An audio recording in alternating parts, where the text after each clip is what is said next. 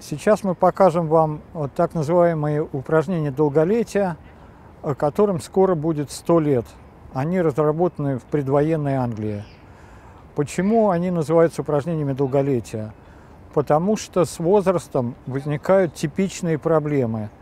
Укорачивается шаг, потому что слабеют сгибатели и разгибатели бедра, сутулится спина, укорачивается шея, выпадает живот. Упражнения содержат ровно те напряжения, э, э, тренировку ровно тех мышц, которые страдают с возрастом.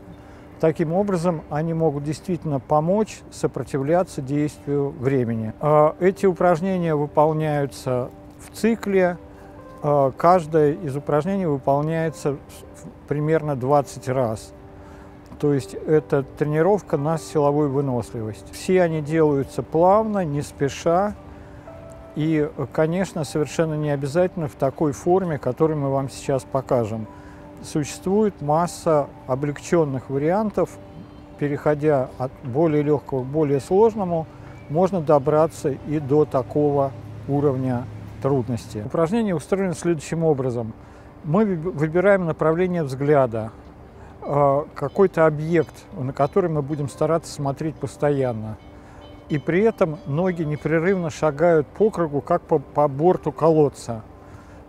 Плавное переступание и э, плечевой пояс при этом вначале удерживается, то есть все тело скручивается, а затем происходит резкий поворот, вынужденный для того, чтобы перебросить взгляд снова на, на то же место. То есть получается в одну сторону идет медленный поворот, а потом в другую сторону резкий поворот.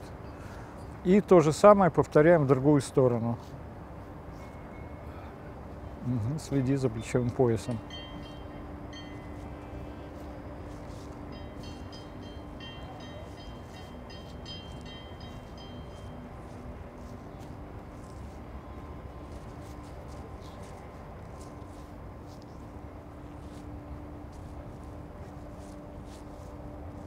Обращаем внимание на то, чтобы не сбиваться с э, исходной точки.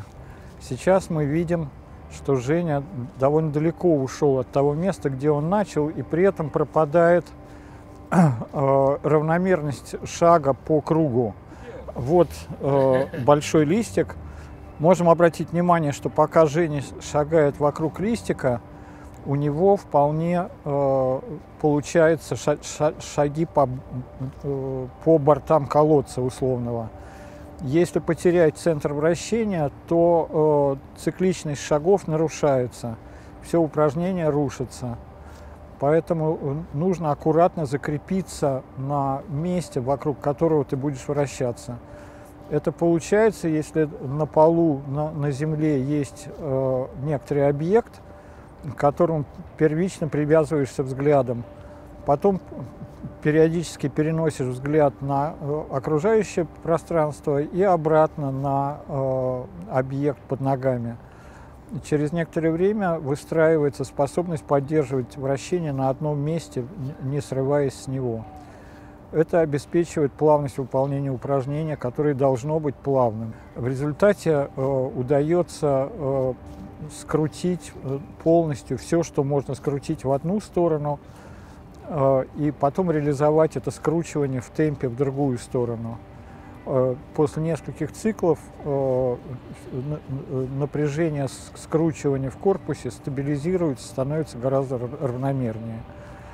А скручивание, как ни странно, основная наша моторная функция, которой мы пользуемся в деятельности. Э, выполнение упражнения начинается с напряжения мышц живота. В первую очередь верхней части мышц живота. Э, к этому напряжению присоединяется тяга рук горизонтально вдоль пола, вдоль опоры, с, с некоторым приподниманием плеч, то есть напряжение грудных мышц, к которому присоединяется сгибание головы и ног. И получается такая странная позиция с поднятыми ногами, с поднятой головой и протянутыми руками. Оп. И кладем обратно. И еще раз. Оп. и кладем обратно. Оп. И кладем обратно. Оп. И кладем обратно.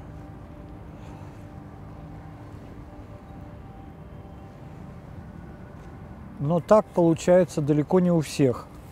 Большинству не может поднять так хорошо ноги. Э, поэтому в упрощенной версии, с которой лучше начинать, поднимаем согнутые ноги. Прямо сразу начинаем сгибать колени.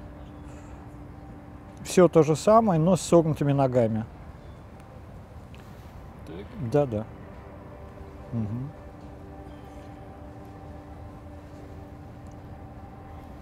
Потом, по мере возможности, э, стараемся ноги выпрямить.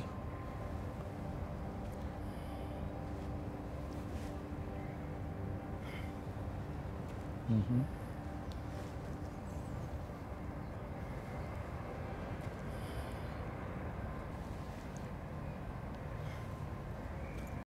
Следующее упражнение прямо противоположное предыдущему.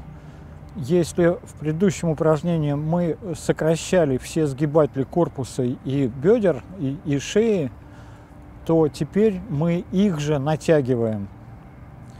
Делаем это стоя на коленях, аккуратно разгибаясь, равномерно разгибаясь в корпусе, в шее и в тазобедренных суставах. Руки при этом опираются сзади на бедра, не на ягодицы.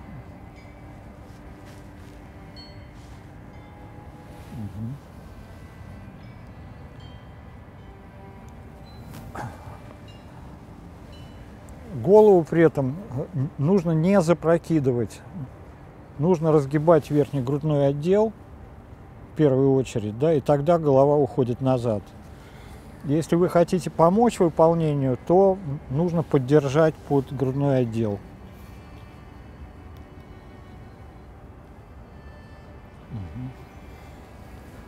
Немножко сгибаемся и заново запускаем разгибание.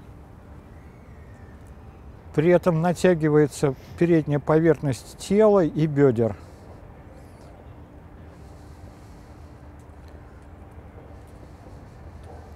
Как мы видим, для, э, для выполнения этого упражнения нужно иметь хорошее разгибание бедер. Оно есть далеко не у всех.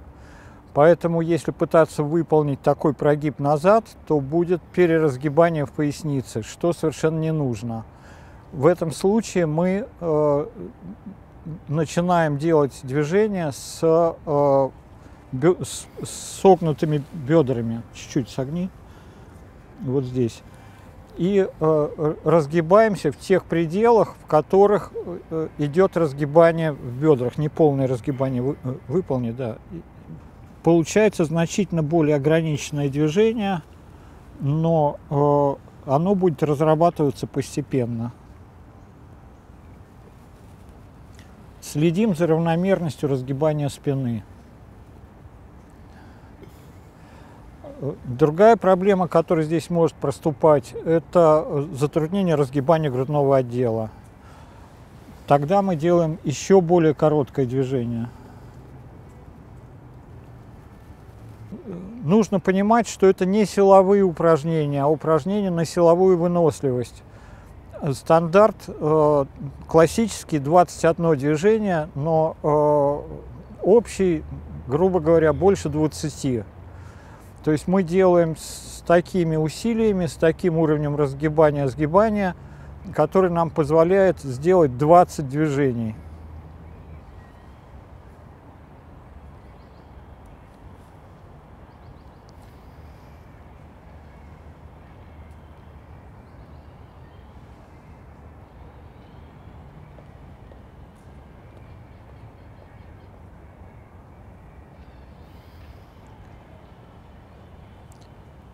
Чуть-чуть задерживаемся в крайнем положении, чтобы выйти из него плавно, без рывка.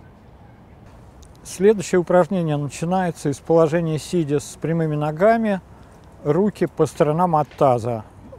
Просто спокойная поза. Из этой позиции мы опираемся на руки и разводим плечи. а затем поднимаем таз и разгибаем спину.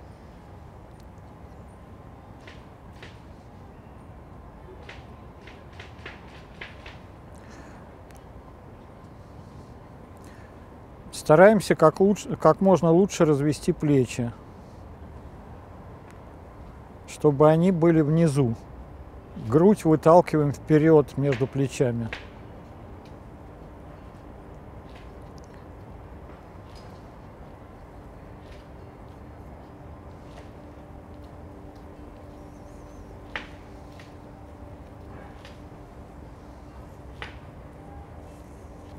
Предыдущем упражнении мы растянули переднюю поверхность тела, а теперь мы максимально сокращаем заднюю поверхность тела. Работает все.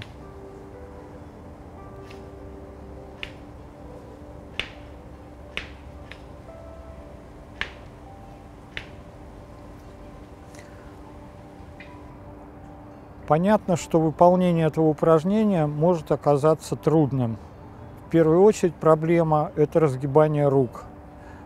Поэтому в более простых версиях можно просто поднять место опоры на руки. Начинать с того, что опираешься на край стола, потом на стулья, потом на диван и, наконец, только на пол.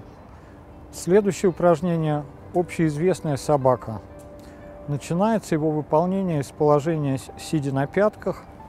Затем мы ложимся на живот э, с опорой на, на э, руки на уровне плеч. Из этой позиции мы вначале делаем обычную кобру. То есть поднимаем вверх, от, отводя плечи назад э, и напрягая спину и ягодицы, так что опора приходится на бедра.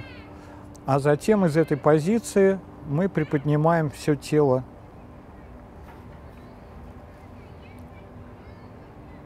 И дальше таз должен идти назад вверх.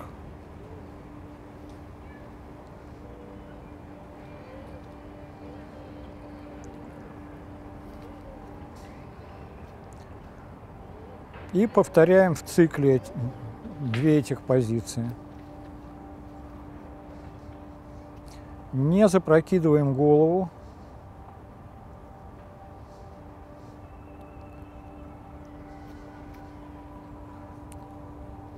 И следим за тем, чтобы плечи уходили назад вниз.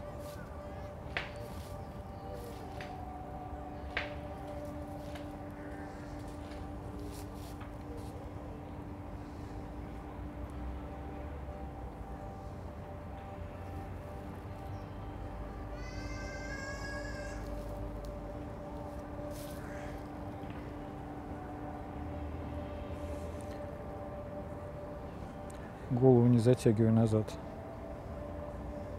Не затягивай здесь, в этой фазе. Ага.